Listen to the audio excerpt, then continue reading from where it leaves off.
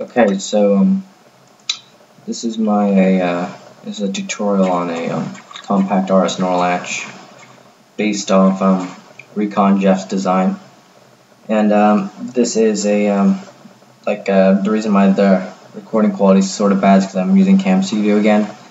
Bandicam decided to stop working, so I'm using Cam Studio. So just bear with me. So this is uh, ReconJeff's design.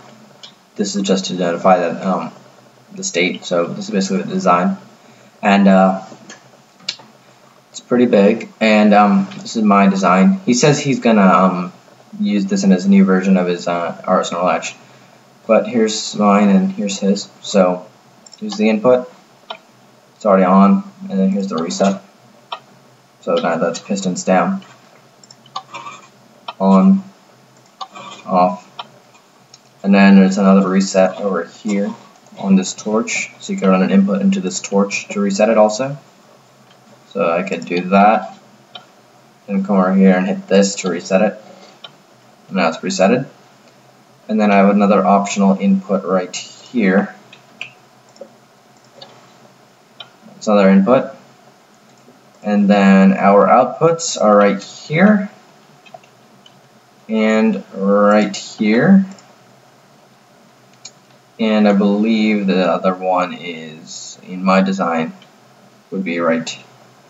Well like I'll show you on my uh, next video but um, those are the two outputs so that's on that's on and now that's off and that's off. So now let me go to mine.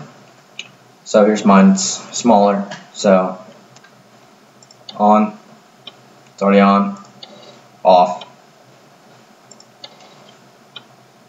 Yeah. And the inputs and outputs are in the same place. So here's um, another reset.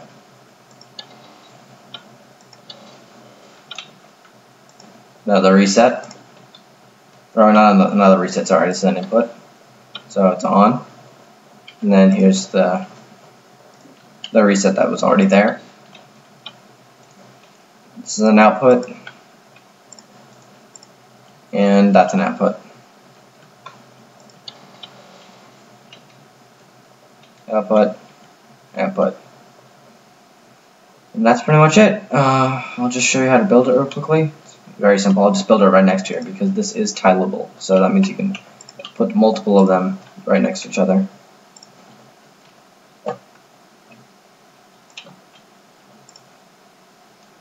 We don't need that right there that. Put a torch here. Put a block. And then put a repeater here on the last delay. And that's pretty much the RS NOR latch right there. So it's already on, off, off. And yep, that's pretty much it. Uh, thanks for watching, and um, I'll see you on my next video.